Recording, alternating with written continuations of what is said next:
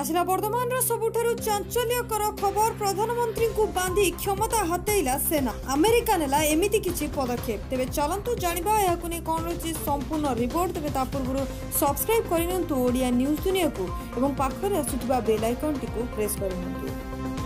ତେବେ ପ୍ରଧାନମନ୍ତ୍ରୀଙ୍କୁ ଗିରଫ କରିବାର କିଛି ଘଣ୍ଟା ପରେ କାର୍ଯ୍ୟନିର୍ବାହୀ ସରକାରଙ୍କୁ ବରଖାସ୍ତ କରି ସୋମବାର ସୁଦାନର ସୈନ୍ୟବାହିନୀ କ୍ଷମତା ହାସଲ କରିଛି ଏହାପରେ ହଜାର ହଜାର ଲୋକ ରାସ୍ତାରେ ଯାଇ ଏହାକୁ ବିରୋଧ କରିଥିଲେ ସୁରକ୍ଷା ବଳ ଜନତାଙ୍କ ଉପରକୁ ଗୁଳି ଚଳାଇ ତିନି ଜଣ ବିକ୍ଷୋଭକାରୀଙ୍କୁ ହତ୍ୟା କରିଥିଲେ ଏବଂ ଅଶୀ ଜଣଙ୍କୁ ଆହତ କରିଥିଲେ ତେବେ ସୁଦାନର ସେନା ଶାସନକୁ ଆମେରିକା ମିଳିତ ଜାତିସଂଘ ଏବଂ ୟୁରୋପୀୟ ୟୁନିୟନ ନିନ୍ଦା କରିଛନ୍ତି ଏହି ସମୟରେ ହ୍ୱାଇଟ୍ ହାଉସ୍ର ମୁଖପାତ୍ର କରିନ୍ ଜାନ୍ ପିୟର୍ କହିଛନ୍ତି ଯେ ସୁଦାନରେ ସାମରିକ ଶାସନ ପାଇଁ ଆମେରିକା ଚେତାବନୀ ଦେଇଛି ସେ କହିଛନ୍ତି ପ୍ରଧାନମନ୍ତ୍ରୀ ଏବଂ ଅନ୍ୟ ଅଧିକାରୀଙ୍କୁ ତୁରନ୍ତ ମୁକ୍ତ କରାଯାଉ ଆମେରିକାର ବୈଦେଶିକ ବିଭାଗ ମୁଖପାତ୍ର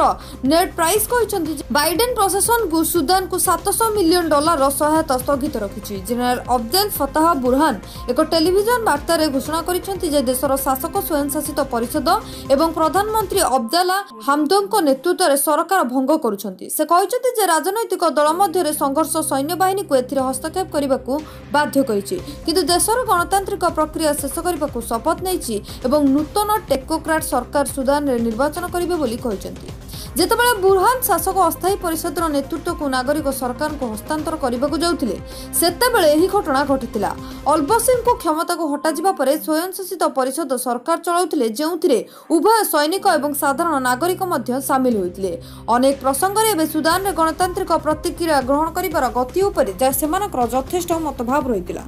ସୋମବାର ଏହି ଘଟଣାକ୍ରମକୁ ନେଇ ଆମେରିକା ଏବଂ ୟୁଏ ଉଦ୍ବେଗ ପ୍ରକାଶ କରିଛନ୍ତି ହର୍ନ ଅଫ୍ ଆଫ୍ରିକା ପାଇଁ ଆମେରିକାର ସ୍ୱତନ୍ତ୍ର ଦୂତ ଜେଫ୍ରି ଫେଲ୍ମ ଖାନ୍ କହିଛନ୍ତି ଯେ ଆମେରିକା ଏହା ଉପରେ ଗଭୀର ଭାବରେ ଚିନ୍ତିତ ଏବଂ ଏହି ଗରିବ ଦେଶକୁ ଆମେରିକାର ସହାୟତା ଉପରେ ସାମରିକ ଶାସନ ପ୍ରଭାବ ପକାଇବ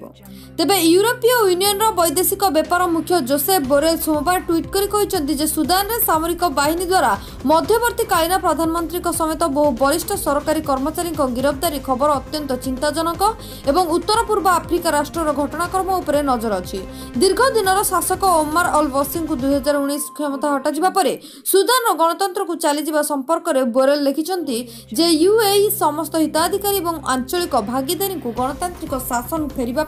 আহ্বান করেছে সোমবার সৈন্যবাহিনীর ক্ষমতা হাসল করিবার প্রথম খবর আসছিল সূচনা মন্ত্রণালয় সকালে নিশ্চিত করেছে যে প্রধানমন্ত্রী অবদাল্লা হামদোকু গিরফ করা অজ্ঞাত স্থানকু নিয়েছে তবে মন্ত্রালয় এবং এক ফেসবুক পোস্টরে জারি করে কী যে বহু বরিষ্ঠ মন্ত্রীকে মধ্য গিরফ করা যে সে কেউঠারে রখা যাই তাহা জনাপড়ি না ইন্টরনেট সেবা স্থগিত রখা যাই এবং দেশের রাষ্ট্রায়ত্ত নিউজ চ্যানেলগুড়ি পারম্পরিক দেশপ্রেমী সঙ্গীত বজাউছেন সেনা ওমর মর্নে সুদান রাজ্য টেলিভিশন উপরে আক্রমণ করে অনেক কর্মচারী গিরফ করেছিল গিরফ এক সময় আসিছে যেতবে দুই সপ্তাহ পূর্ব সুদানের সাধারণ নাগরিক তথা সামরিক নেতা মধ্যে তিক্ততা বড়ি যাই ସେପ୍ଟେମ୍ବର ଏହି କ୍ଷମତା ଅକ୍ତିଆର ବିଫଳ ହୋଇଥିଲା ଏବଂ ବ୍ୟାପକ ବିରୋଧ ପରେ ସ୍ୱାଧୀନତାବାଦୀ ପୂର୍ବତକ